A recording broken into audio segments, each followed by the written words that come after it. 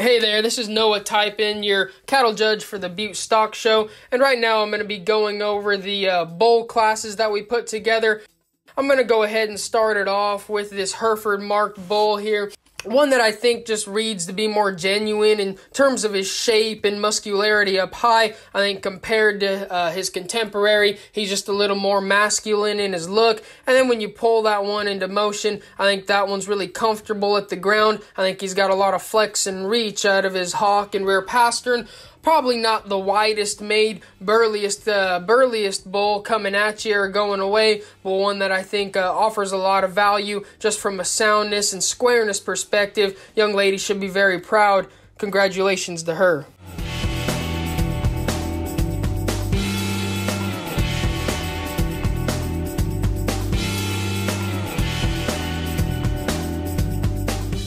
Charolais Bull is going to be reserved today, and obviously there's quite a bit of size and maturity difference between the two of them. However, I do think he's a little more attractive in terms of his front end assembly. His neck ties in high at the top of his shoulder, and he's a little cleaner through his throat and brisket.